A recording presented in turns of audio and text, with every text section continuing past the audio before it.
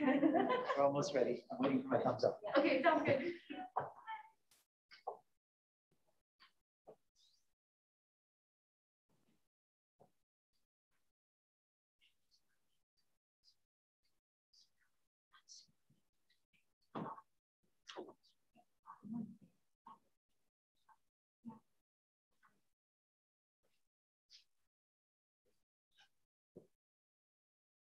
Welcome, everyone. This is our closing session for the day. However, the conversation continues tomorrow online and on campus uh, with more information on the symposium main webpage.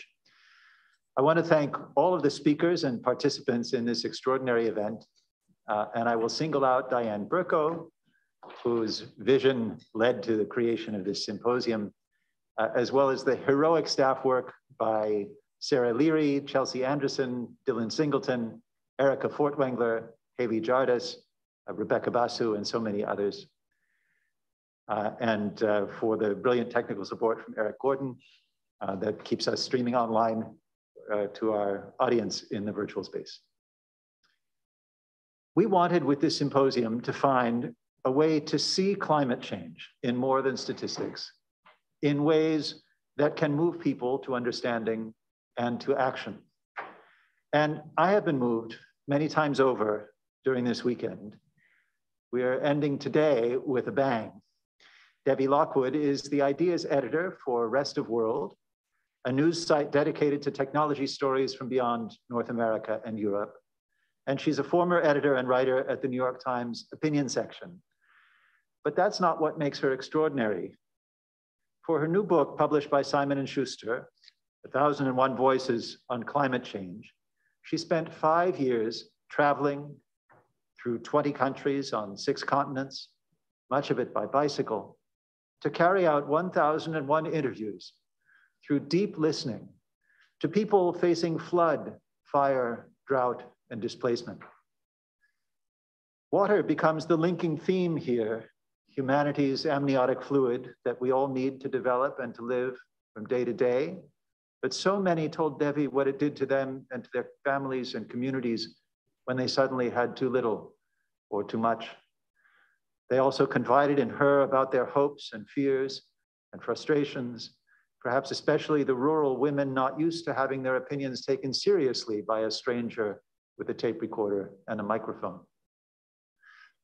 We have heard a lot about intersectionality this weekend, and I was struck in reading Devi's captivating book, by how often men told her, mansplaining, what was hmm. wrong with her ideas or her project or her travel plans, although some of them then gave her reflective gear to try to keep her safe. I travel not only for myself, Devi writes, but for all the women who are unable to do so. School of Communications students in the audience will be interested to know that she completed a graduate program in science writing at MIT in 2019 and she studied folklore at Harvard. A writer's writer with an inspiration to young people everywhere who wonder whether to follow their dreams and their devotions. She has published her thoughts in everything from the Washington Post and the Guardian and the Times to poetry quarterlies and Bicycling Magazine. And she was a youth delegate to COP22 held in Marrakesh, Morocco in 2016. Please join me in welcoming the Scheherazade of the Anthropocene, Devi Lockwood.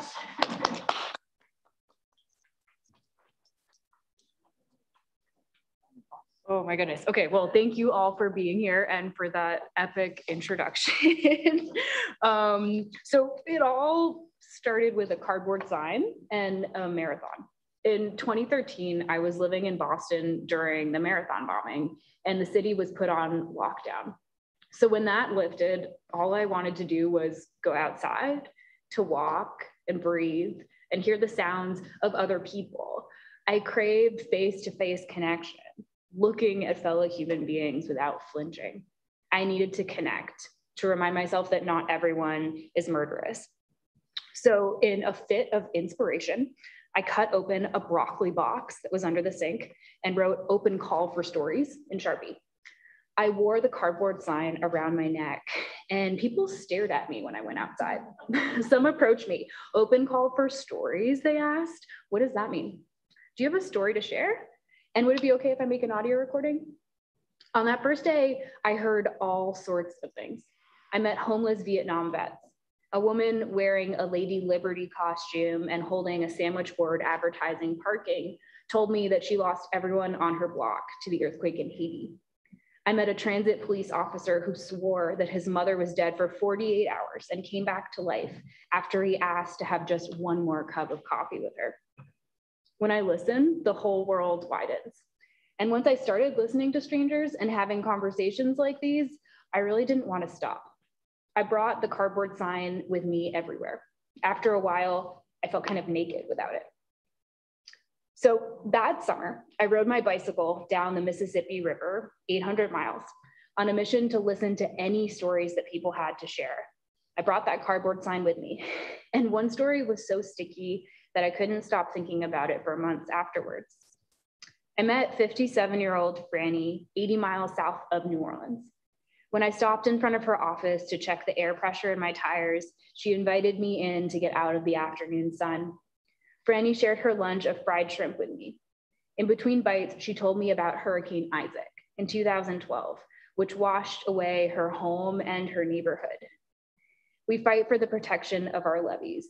We fight for our marsh every time we have a hurricane, she told me. But despite that, she and her husband moved back to their plot of land, living in a mobile home just a few months after the storm. I couldn't imagine living anywhere else, she told me. Do you think there will come a time when people can't live here anymore? I asked. I think so. Not in my lifetime, but you'll probably see it. To imagine the road I had been biking on underwater was chilling.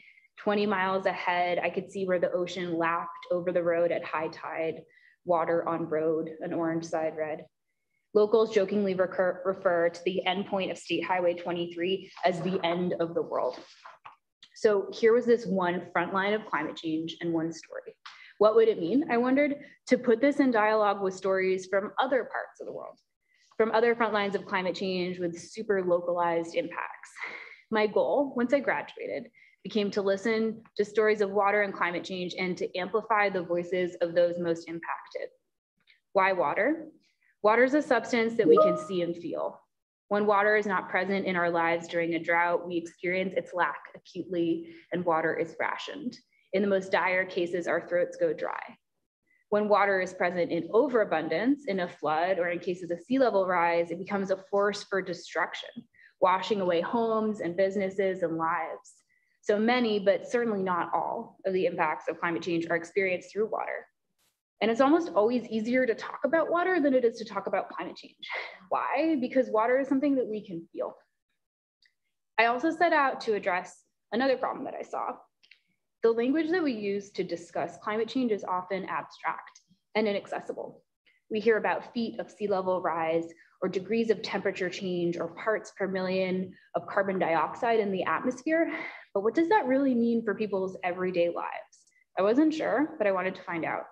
And storytelling can be a way to bridge this divide. I also find that traveling primarily on my bicycle was a great way to connect with people in the places between places that might not otherwise be considered as important. So one of the first stops on my journey was Tuvalu.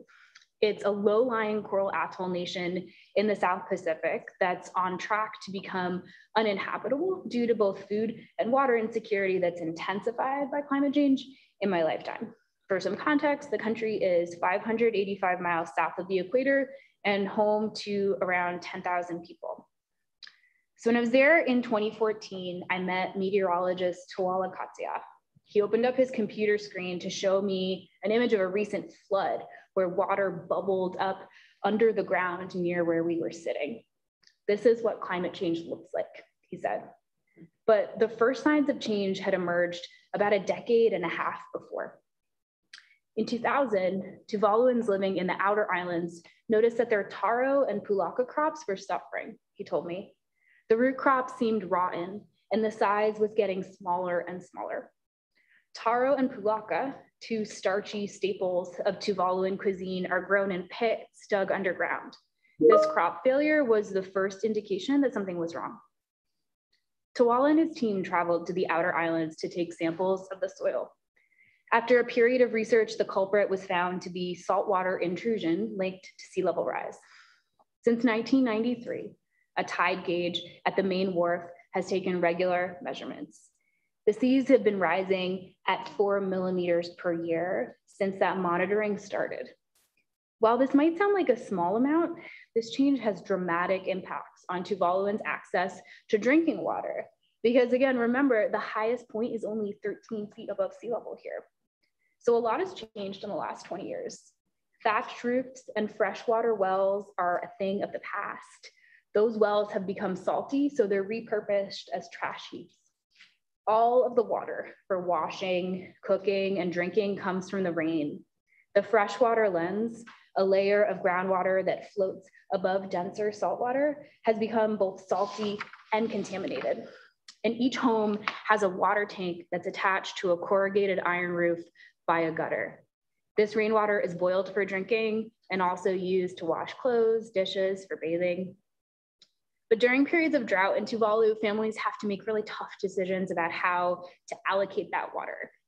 And one woman, Angelina, who's a mother of three from Funafuti, was really honest with me about the impacts. She's at the far right, right there. If there's no water, we worry a lot, she told me. During the last drought, her middle daughter, Siulai, was only a few months old. Angelina told me that she, her husband, and the oldest daughter could swim in the sea to wash themselves and their clothes. We only saved water to drink and cook, she said. But what about her baby? The newborn skin was too delicate. If she went into the salt water, she would get this horrible rash. How can a mother decide between having water to drink and water to bathe her child? So the stories I heard about water and climate change in Tuvalu also had this interesting division across generational lines. Tuvaluans my age, like Angelina and her family, they don't see their future on the islands. They're applying for what's called the Pacific Access Category Visa to enter a lottery to live in New Zealand. And older Tuvaluans, in contrast, they see climate change as an. They told me that they couldn't imagine living anywhere else. And they didn't want to leave the bones of their ancestors, which are buried in the front yard in each home. Some things just cannot be moved. My time in Tuvalu showed me how climate change exacerbates both food and water insecurity. And then that insecurity drives migration to other parts of the world. And this theme was echoed in other places too. In Thailand, I met a modern dancer named Soon who had moved to Bangkok from the rural north. And he moved to the city to find work because unpredictable rain patterns had made rice farming, his family's occupation for generations, more unstable. There's no more work because of the weather, he told me. So migration to the city, in other words, is hastened by the rain. I also heard stories about climate-driven food and water insecurity in the Arctic. Igloolik, Nunavut is 14,000 miles south, or excuse me, 1,400 miles south of the North Pole. And it's a community about, of about a little less than 2,000 people. Life in the North is really expensive because fruits and vegetables are flown in. A two pound bag of grapes can cost more than 20 Canadian dollars. Marie Iroot, a 71 year old elder, lives by the water. We spoke in her living room over cups of black tea my husband died recently, she told me. But when he was alive, they went hunting together in every season, following the migration patterns of different animals. This was their main source of food. I'm not going to tell you what I don't know. I'm going to tell you only the things that I have seen, she said. In the 1970s and 80s, the seal holes would open in late June, an ideal time for hunting baby seals. But now, if I try to go out hunting at the end of June, the holes are very big and the ice is really thin, Marie told me. The ice is melting too fast. It doesn't melt from the top, it melts from the bottom. A few years ago, Marie went seal hunting by boat and brought the animal onto the land to eat fresh seal meat with her family. The skin looked really old and it was very easy to break, she said. She blames this on increasingly warming water temperatures. Caribou hunting has also changed. Again, in the 70s and 80s, she went caribou hunting on Baffin Island in August. Back then, she told me it was very, very hot with lots and lots of mosquitoes. Now it doesn't have any mosquitoes. The water looks colder at the top, but it's melting from the bottom. The sea is getting warmer. When the water's warmer, animals change their migration patterns. Igloolik has always been known for its walrus hunting, but in recent years, hunters have had trouble reaching the animals. I don't think I can reach them anymore unless you have 70 gallons of gas. They're that far now because the ice is melting so fast, Marie told me. It used to take us half a day to find walrus in the summer, but now if I go out with my boys, it would probably take us two days to get some walrus meat for the winter. Marie and her family used to make fermented walrus every year. But this year I told my sons, we're not gonna do it. They're too far, she said. I read my Bible every day and I know things will change. I believe both of them are happening now, what is written and what I see with my own eyes. So it might sound strange to think of storytelling as a climate solution, but in my five years documenting these 1001 voices on climate change in 20 countries on six continents, I learned that deep listening is something we really urgently need to confront the climate crisis. Listening is the first stop on the way to solution building. If we're building solutions that don't take into account the voices of people who will be impacted, it's dangerous and more importantly, ineffective. With an issue as complex as climate change, it's easy to fall into a kind of silence, to assume that we have nothing to add to the conversation and should therefore let others, the so-called experts, speak. But more than anything, we need to be talking about climate change and amplifying the voices of others. Storytelling is an intervention into climate silence. I also wanted to do my best to diversify the notion of expertise. People are experts in their own lived experience. Climate science is crucial, of course, but by putting that science in dialogue with the stories of people who are impacted, we can begin to move forward in a way that's more creative and collaborative, and ultimately, I think more interesting too. So my final takeaway would be this, um, get out there, ask questions and listen, um, intervene into climate silence by having conversations about the hard things. Thank you.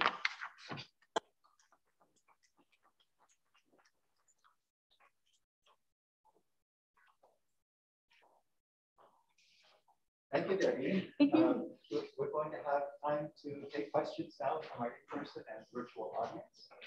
Um, and uh, while we're uh, preparing those, uh, we have a question already? Oh, sure, yes. Okay, let's begin with a question from our virtual audience. Um, I know you learned a lot about um, different people and places and things, but what has everything that you've learned about others taught you about yourself? Um, this is on, right? Uh, that, that was a fantastic question. um, I think one of the big changes that I noticed in myself personally was that I got a lot better at listening. I listened back to some of those early recordings from when I was biking down the Mississippi River. And I was almost like put off by how much I jumped in, spoke over other people. I was really kind of only halfway listening or listening with the intention to respond. Um, and part of that was just nervousness, right? I was putting myself out there in a way that felt really vulnerable and I wasn't like naturally that extroverted to begin with. So I think that, yeah, I got a lot more confident with silence and with leaning into um, letting other people direct the conversation um, and almost falling forward into the rhythm of someone else's voice, right? And and then sometimes asking questions, but not always having a question in mind and letting the conversation take its own shape. And you know, some of the audio recordings would be like 45 seconds long, and some of them would be 45 minutes. My arm felt like it was going to fall holding the microphone up for that long. But I don't know. I I, I remain so grateful that so many people took the time to speak with me because I was really figuring it out as I went. and um, yeah, definitely became a better listener the longer I did it. Devi, I know that you've made the struggling people you met on the front lines of climate change the principal subjects of your book. Um, and, and, yet I'm sure that because you were very close in age to our own students when you began this project, they would be interested to know a little bit more about what led you to it beyond the cardboard signs and the aftermath of the marathon bombing and um, and and whether you knew that it was going to take five years and how you had the courage to go off on this adventure. Yeah, sure. So I did not know it was going to take five years. I thought it was going to be one. Like deep desire to slow down and thought when else in my life am i going to have you know not only the generous funding and traveling by bicycle is really cheap. So the, i think the grant from harvard was like $22000 it just made that last like many years um, living in a tent mostly. But um, I, yeah i think so my senior thesis in folklore and mythology was poems that were inspired by those stories that people told me biking down the Mississippi. And the poetry didn't feel quite right, but it was really interesting to me to try to make it work. And, and I think I kind of fell sideways into a career in journalism after that because I wanted to write something that was more uh, narratively driven, longer form, potentially has a larger audience. um, but yeah, I, I think that there was a lot of kind of testing things out and figuring out exactly what felt best. And my original idea was to kind of make an audio map where you could click on point and listen to a story from that place. The idea for a book didn't really happen until enough people told me like, hey, you really need to do this. I had an agent reach out to me and be like, mm, this sounds like a book. um, so I don't know, it was kind of a process of learning to let the project take its own form. Even the number 1001 um, started out a little bit as a joke um, with a friend. And then she's like, no, you could actually do that many recordings. I was like, oh, okay. Um, so it was kind of a, having a general direction and the kernel of the idea, but then being open to it changing and to the form of the journey changing. And that was hard, but ultimately a really fun creative challenge. Thank you. Do we have another question?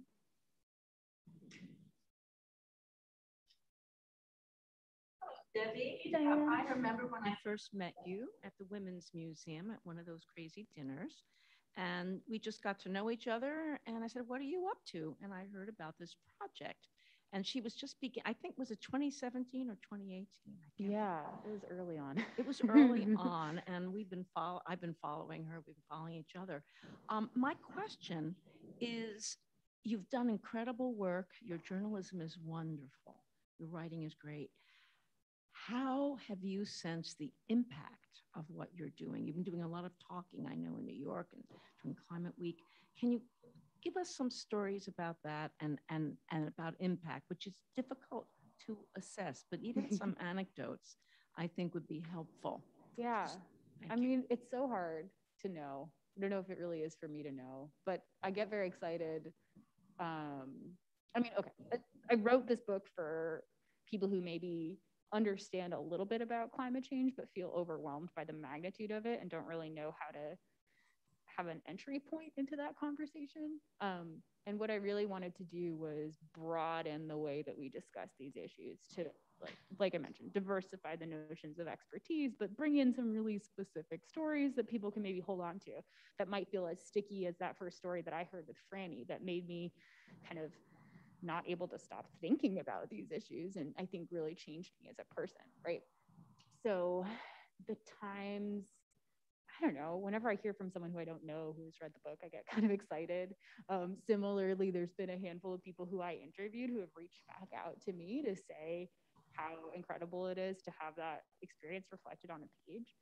Um, but I don't know. My hope there there was the, kind of this fun moment um, too, where I know of at least two and maybe three people who were inspired to make their own cardboard signs on different topics um, earlier on in the trip. So, um, you know, if it can get more people out there and traveling by bicycle, or get more people to take on whatever epic creative project they feel like is almost too nuts of an idea to go after, um, then that will have done something small. So that means something to me.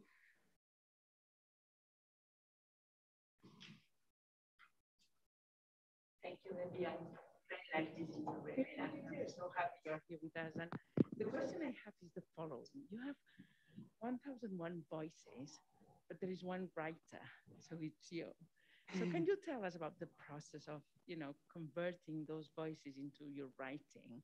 Yeah. And whether you have come across any kind of conflict maybe or any kind of, you know, anything that you can tell us about this, it would be wonderful. Thank you. Yeah. No, it's such a good question. um, so I guess it might help in answering that to talk a little bit about the process of actually pitching this book to publishers. Mm-hmm. So the first round of submissions went out in 2016 um, and i got something like 40 rejections. And the agent i was working with tim who's wonderful he's like do you want to read them or no? And i'm like oh my god please yes. Like i want to print them out and tape them on my wall and like absorb this and become stronger. Um, and the feedback was really interesting at that point. Part of it um, was editors saying you know books about climate change don't sell unless you're naomi klein or bill mckibben. And i think that there's like way in which the impacts of climate change have become more intense in the intervening five years. And as such, perhaps there is more space for other voices on that subject. That's my hope, at least. Um, and the second piece of feedback uh, I got was it, editors asking me, well, what's going to keep someone turning the pages?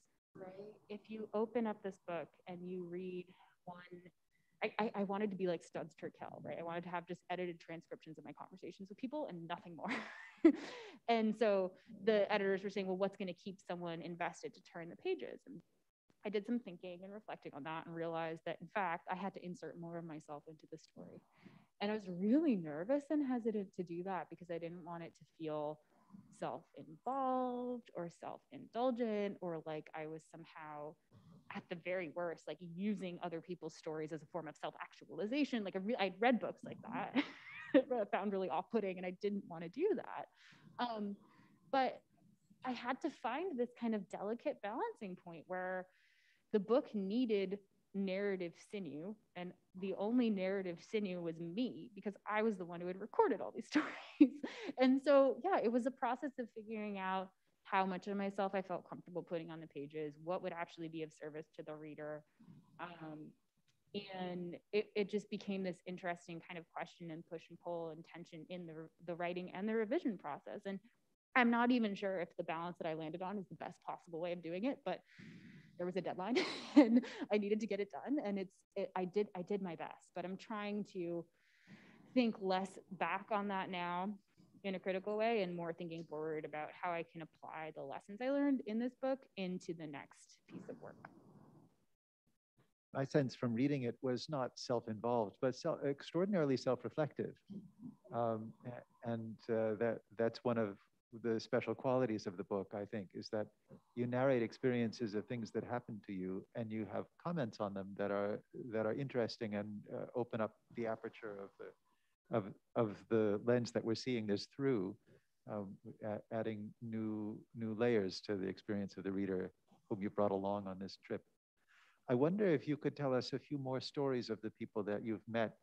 Um, perhaps uh, Tanea Tangaroa from uh, working on a wetland in New Zealand, sure. Oh, or yeah, yeah. Gertrude uh, Kabusimbi Kenyangi, the Ugandan forestry expert that you met in Morocco, or you can pick them. Sure. Yeah, I'll, I'll jump into Tanea's story because I, I love talking about it. I think that um, I mentioned it on the panel this morning, so hopefully it's not repetitive. But um, Tanea is a Maori woman who is from Wanganui, New Zealand, which is a town in the North Island, which is where the Wanganui River meets the sea. And I met Tanganea, um, Tanea, excuse me, through um, a mutual friend that we had and she has been working for something like 20 or 25 years now diligently in a day by day way to do the hard work of restoring a wetland that had been used as a landfill site for several decades. And the landfill began at a time when landfills were unlined. So there's problems with kind of toxic leachate um, going out from the landfill into the surrounding environment. And there's also a huge amount of invasive, both plants and animals, that have come and kind of gravitated to this area. So she's been hauling out those plants that are problematic, doing all sorts of things to bring back native populations of birds. And also, more recently, in the last decade or so, has started to use this wetland as an environmental education site. So tapping into not only the spiritual connection with the land, but also teaching kids in her community about the different names and attributes of these plants and animals that should and shouldn't be there. And I was just so moved by her story um, for a couple of reasons. Um, but the biggest one being that I think it shows, you know, how slow and steady uh, this one solution can be right? And it's it's super localized, but it's not something that happened overnight. It's not something that happened as a result of the whims of a big corporation, right? It was one person in her community taking the initiative and putting on gumboots and wading through the muck, literal muck, to um, do what she felt was really important. And um, the impact that that has ripple effects that are wider than just her. Thank you. Should we take another question?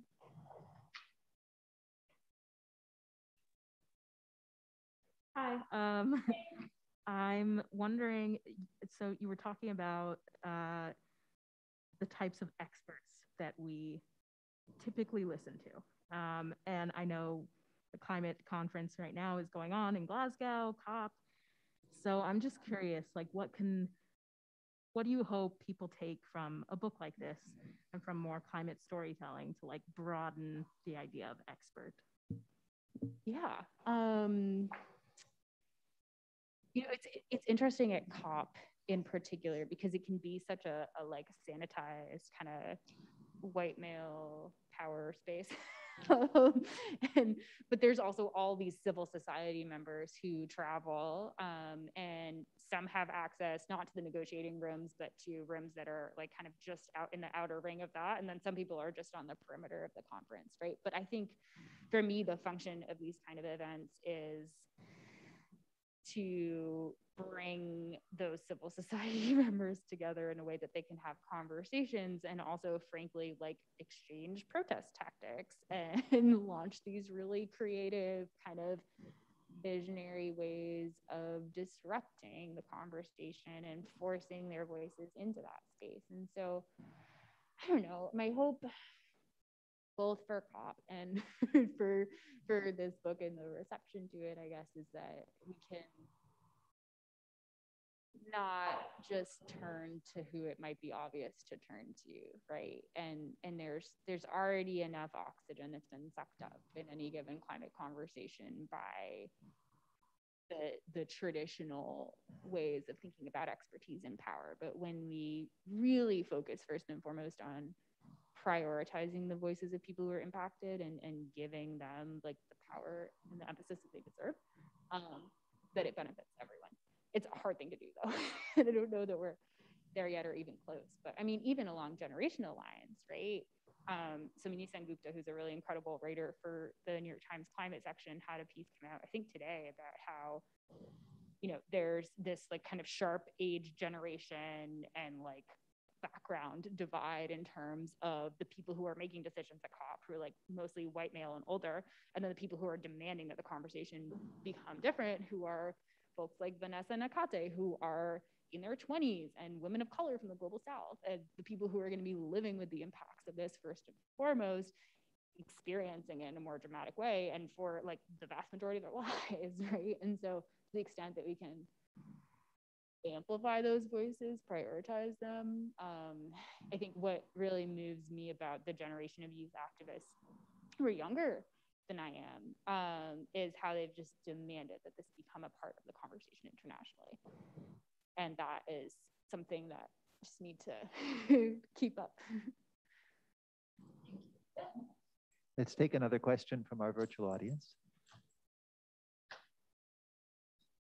Another question from the audience is that the climate change crisis caused millions of farmers around the world to suffer from poverty, diseases, and the COVID 19 pandemic, droughts, droughts, conflicts, and more.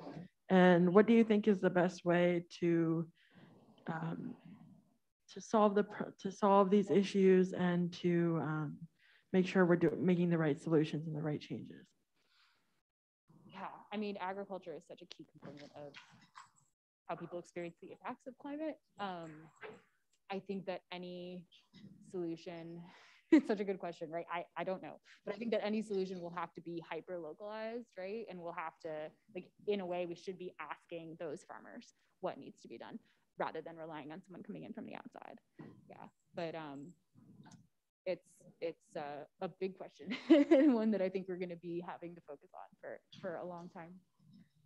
As you were conducting your interviews, as you were meeting so many people, did they sometimes offer you suggestions that you should take back to the United States? This is what we want you to tell uh, President Obama or uh, you know whatever whatever did they have a message for you about this is what we need this is what should change Hmm. Yeah, less so. I mean, the one example you that's did- coming you to mind is about water use, and I don't know if this is quite an answer to your question, but it's an adjacent answer. Maybe it'll take us to an interesting place. But when I was living in Tuvalu, right, um, the water that we did have was really um, precious and had to be treated as such. And I would, you know, staying with a, a host family for the majority of my time there, and trying to be a gracious ho- or a gracious guest, I would offer to do things like washing the dishes. And um, I just got flat out told, like, yeah, white people don't know how to do that without wasting a ton of water. like, like, please don't. Um, or I wanted to do my laundry uh, one time, and uh, the family I was staying with was like, well, we have to wait for it to rain. There's not enough water to wash our clothes right now. So I, I think that that attitude about preserving and maintaining and, and, and really treating water as the most precious substance when there's not enough of it to go around um, was something that I carried with me. Um, but it's less of a like policy answer. I'm not sure that uh, there's nothing that's coming to mind that was quite that direct, but it, it would be an interesting question to pose. It's one I wish I could ask to some of the people who I spoke with. this is the same family who asked you what it was like at christmas on your island Yes. and whether it snowed yeah. yeah yeah, they're wonderful. Uh, it, it was just the assumption that everyone lives on an island, um, which is really fun. Trying to describe snow is a very substance, but yeah. I, one of the reasons that stayed with me and seemed so poignant is that in a sense that's the problem is that we're all on our islands Yeah, ooh, And- good one. And uh, and and the amount of empathy contained in that observation by them you must also be on an island faced with the problems that we have on this island Mhm. with the sea rising and, and the like. Also seemed like a departure point for a kind of universal connection. Uh, and maybe the problem is that we don't realize that we're all on islands. Yeah, we but of think we're course- somehow safe yeah, of course, like the impacts are experienced really disproportionately, right? And this is where like principles of environmental justice come in because for me, like my race and my education level and my class and my passport, all of these things insulate me from the worst effects. And if something terrible were to happen here, like chances are I would be fine. Um, and that's not the case for the vast majority of people who are experiencing these impacts firsthand. So I think it's important to think about that applying that environmental justice lens to understanding the layers of oppression structurally that already exist, both here in the US and abroad, um, and then just making sure to keep that in mind when we have a- any conversation about solutions. that's an example of the kind of self-reflection that I was referring to before, which is that Devi had all of that extraordinary privilege that she's just described and decided to use it to take herself to places that you can't go without that privilege in order to examine it and to, uh, to, to try to do something instructive with it. Um, the, the, and, and, and I point that out because a lot of the students who are watching online have also said to me and to other faculty that as they become aware of their extraordinary level of privilege, uh, especially if they get interested in international affairs and, and think of the, the contrast between their lives and the lives of so many people around the planet, then they say, okay, now what do I do with this? Uh, and I think your story is an example of that you can find your own way uh, to, Hope so, something. yeah. Can you tell us about Aidai Turdakunova, a 16-year-old student in Kyrgyzstan who wanted to be a, uh, an environmental engineer?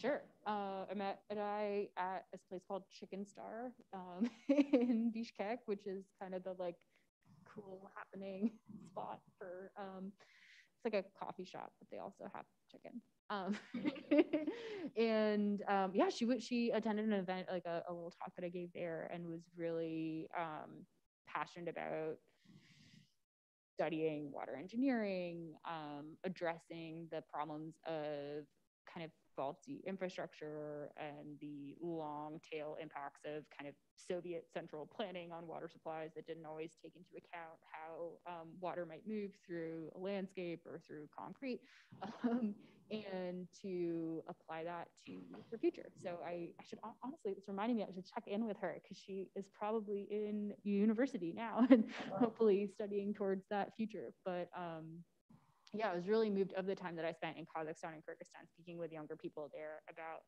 um, they were just very uh, on the whole, if I can make a generalization, like problem solvers, eager to um, address the ills that they saw around them if it had to do with infrastructure or something else in a very direct and concentrated way. Do we have a question from the audience? The question from the audience, can you talk about the artists that you've met along your travels and how art contributed to climate action across your experiences and across your journey? Yeah, um, because it's COP now and I'm thinking back to the COP five years ago, I'm going to talk about that and then I'll see if another one comes to mind. Um, but I, so I was there with a US youth delegation from a group called SustainUS, which if any of the young folks listening um, are interested in going to one of these climate conferences in the future, um, SustainUS is an incredible organization where you can apply to join one of these delegations and um, kind of connect with like-minded folks from across the country and then around the world in this negotiation space. It was incredible. Um, so a lot of the people, I was there kind of as a journalist or a budding journalist, I guess. Um, and the majority of the people in the delegation were organizers. And so we were there. It just so happened that um, COP22 happened um, in the middle, of the first couple of days was the, the 2016 US presidential elections.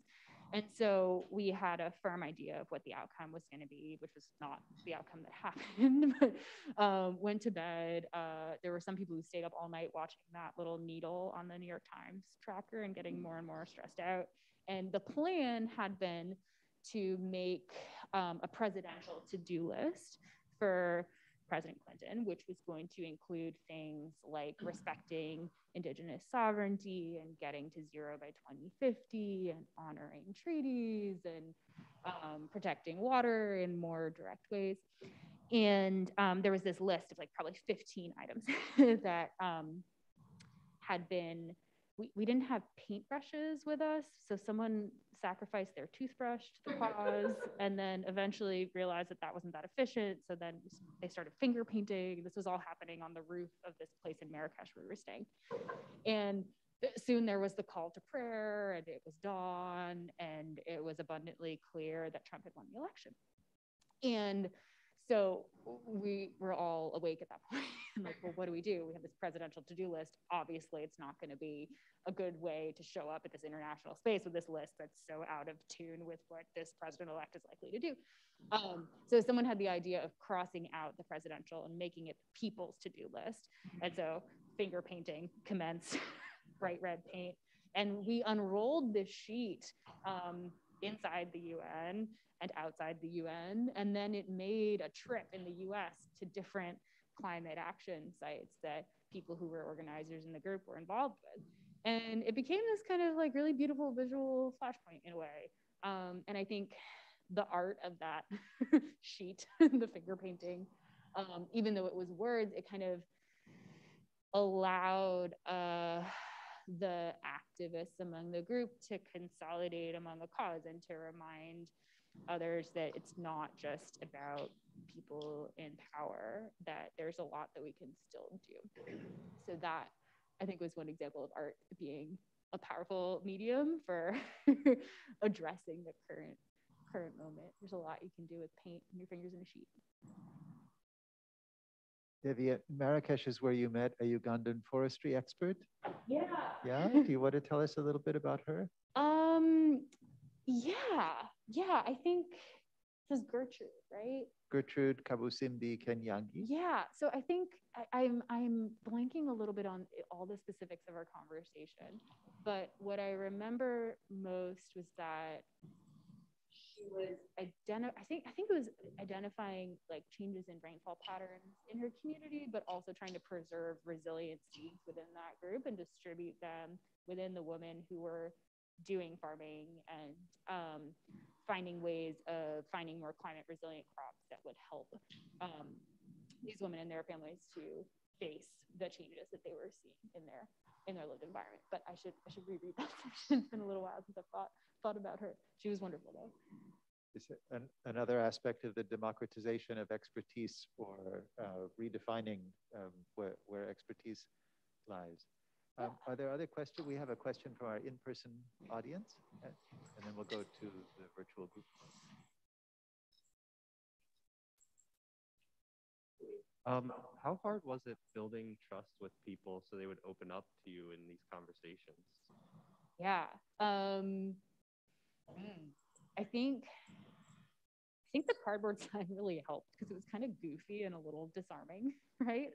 Um, so that was a good conversation starter. It wasn't like I was walking up to someone and being like, "So climate change." um, they were kind of coming to me, or the cardboard sign was an invitation for them to come to me. Um, I think that frankly, being like a five foot five white woman in her early 20s also helped me a lot. Mm-hmm. Um, because pretty much no one considers me intimidating. Um, and also, people were really eager to help. Um, I spoke with some solo male cyclists, especially in Australia. There's just these vast distances between places. Um, and I remember meeting this one guy who's like, really wonderful, petite, hilarious Italian man who like there's so many different ways to do a bike trip. He would stop every 20 kilometers and roll and smoke a like little cigarette and then keep going. and um, he's just like brilliant guy. But I was chatting with him. I'm like, well, don't don't people take you in all the time? And he's like, what? No, like no one ever takes me in. I spend every night in this little tent that I bought at the Australian equivalent of Walmart that has stars and moons on the ceiling. It's like, oh, um, people would take me in all the time. Um, and so I think that that that just like the present, like it doesn't there's spaces that I don't have access to. Like I wasn't a swashbuckling male travel writer who's going to go have six pints at the pub and chat with locals, right? That would be a situation in which I would feel very vulnerable. But people were inviting me into their kitchen tables all the time to have these really intimate conversations. I think that I worked a lot, speaking earlier about listening, the question about how I changed, right? Um, I worked a lot in thinking about my body language and how that could communicate that I was really eager to listen to someone. And so that came from not breaking eye contact, like not in a creepy way, but just in a like nodding along in a way and, and leaning forward and being fully present and removing any distractions that might exist in the space, like digitally or otherwise, to the best of my ability. Um, and also, I tried to make a habit of always thanking people for their stories because um, every story is a gift, right? And I really firmly believe that everyone has something to teach me if only I am open to it, make the time to listen or to be in that experience fully. And so I think that keeping that that mindset at the forefront was was really important. Shall we have another question from the virtual group? Um, have you kept up with any of the individuals whose stories you've gathered and have you connected or introduced any of the individuals you spoke to with others on the project? Yes and yes. um, I think one of the like really challenging and really beautiful things about that kind of like fast track to intimacy through doing a audio like oral project like this is that I made a lot of friends with a lot of people really quickly and then had to say goodbye to them and that sucked. but um, one of the amazing things about you know the internet and social media is that um, a lot of people are on Facebook all over the world. Um, it's how I still stay in touch with Angelina in Tuvalu. She messes me every couple months and um, asks me if I've like gotten married. like, oh God. She's like, she calls me sis. She's like, sis, when are you gonna settle down? I'm like, sorry, I still have no news for you. Um, but um, you know, it's it's been really beautiful to be able to follow each other's lives longitudinally like that. And similarly, made some really incredible friends in New Zealand, um, and I've kept kept up with them. There's a lot of really like interesting climate organizing happening there.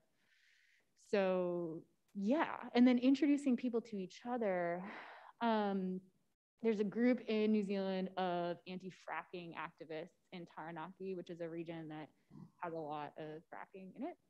And I went to a, a kind of gathering of those activists really early on in my time there and met some people in Leeds in the UK several years later who were working on really similar issues. So I did a cross pollination introduction, which was really fun. Um, and there's been a handful of other times where it's also made sense to introduce people to each other.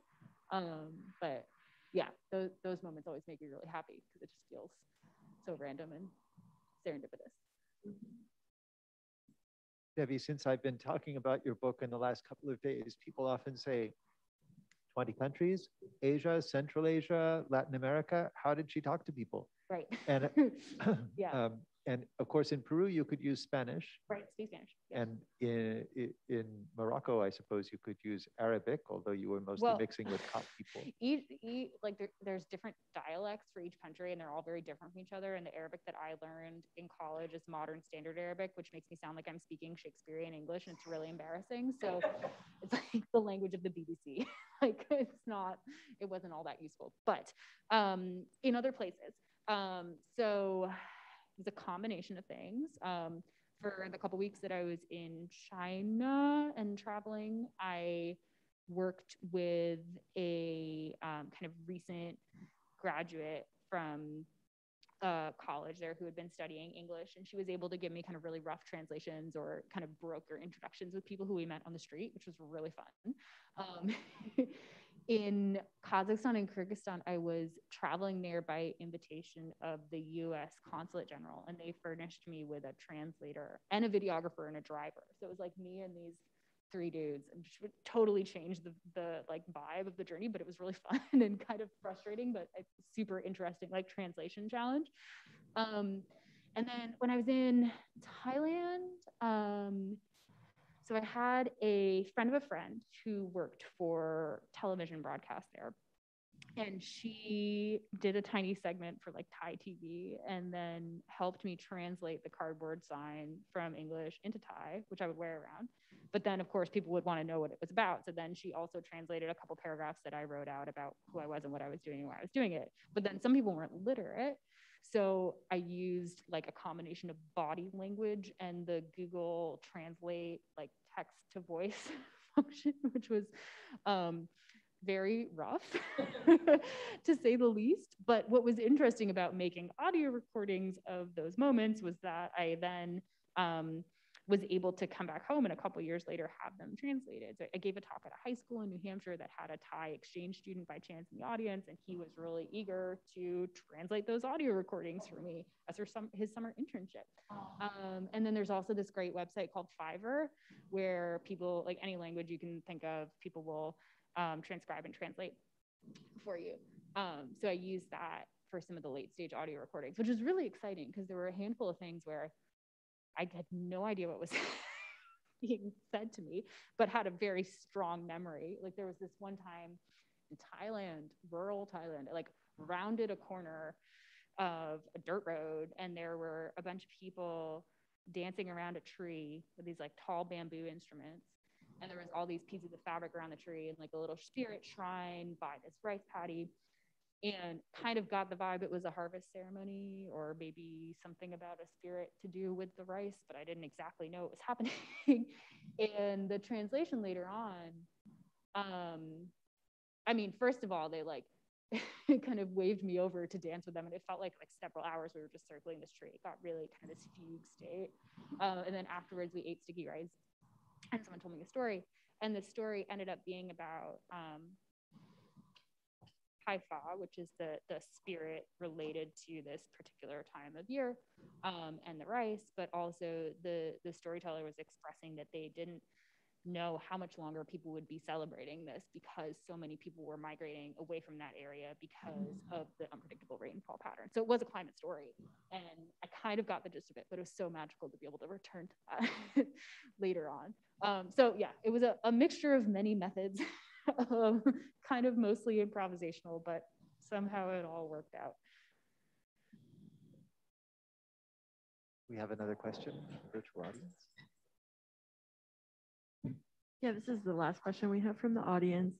Um, you mentioned absorbing negative feedback to become stronger, like a stronger writer and a stronger person. Can you talk more about how um, that developed into courage and helped you grow through tougher times in your writing and in your just different ventures? Yeah, I don't know. I'd imagine it's probably similar for anyone who creates anything, right? It's, it's just taking the lessons from the last thing and applying it to the next thing and always wanting to create more. and uh, so my hope is to just continue doing stuff because I like, love listening, love doing interviews, love writing, uh, love editing, even when it's pain. but um, looking at it as there's no one fixed endpoint, right? It's an iterative process. There's always something else to do next.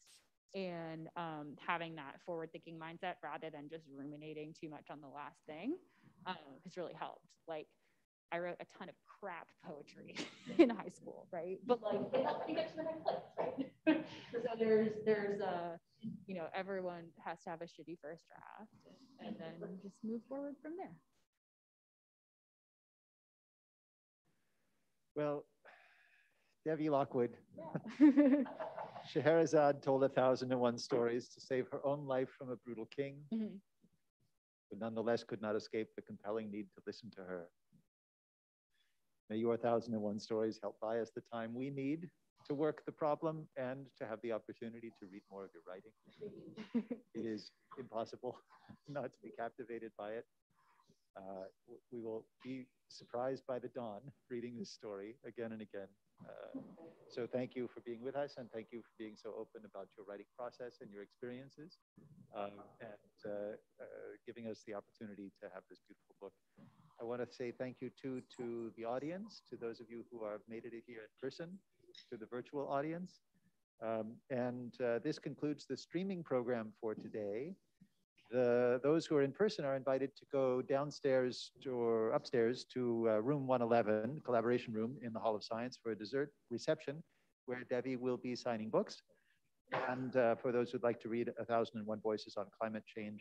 And I encourage everyone to log in tomorrow um, for uh, to hear from a, a, virtual artist talk with AU faculty member James Mayhew, who will be discussing climate change in artwork at 10 a.m. on Sunday. There are details on the symposium website, and you can see uh, join using the same web link that you used today.